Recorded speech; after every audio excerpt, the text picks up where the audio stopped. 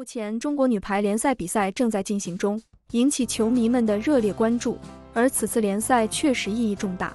自从东京奥运会之后，中国女排就再次进入了一个新旧更迭阶段。老队员们伤退前，教练退役，必须要挖掘新球员，才可以继续在巴黎周期里打出女排精神。这也是新教练蔡斌面临的挑战。那么，联赛作为全国各大俱乐部都参加的比赛，就是做好发现人才的渠道之一。那么今年联赛有哪些位置和新球员值得期待呢？首先，最让人关注的无非就是主攻位置。目前第一人毫无疑问是天津女排的零零后李盈莹。东京奥运会周期就已经是郎平指导这重点培养的新人之一了。蔡斌上任后，他也继续当之无愧地接过了朱婷的重担，目前能力十分全面，只待好好培养爆发。而除了李盈莹之外，还有两位零零后新人值得期待，分别是吴梦洁和庄雨珊。这两位在亚洲杯里闪耀的新人，让大家看到了中国女排的未来。而副攻位置的接班人或者绝对主力，则还在考察中。除了袁心玥之外，到底是稳定的王媛媛，还是可以爆发的杨涵玉？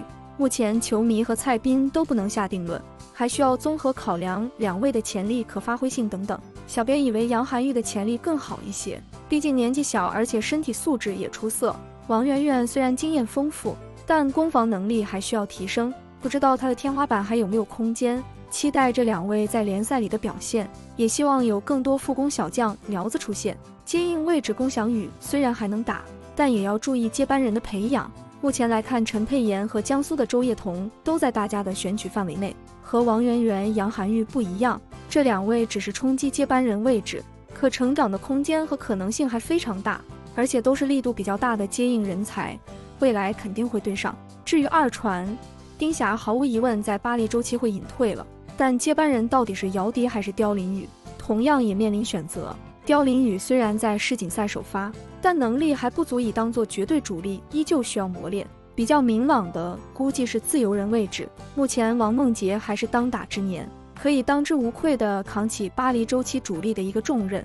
而年轻一代里，作为他接班人的人选。或许将会落在零二年小将倪非凡的身上。当然，以上位置的绝对主力和替补接班人都是根据目前这些球员的表现来排列的。如果在今年联赛里有出现其他表现优秀的黑马球员，说不定也会对这些球员造成冲击。那么，对于这份巴黎名单你怎么看呢？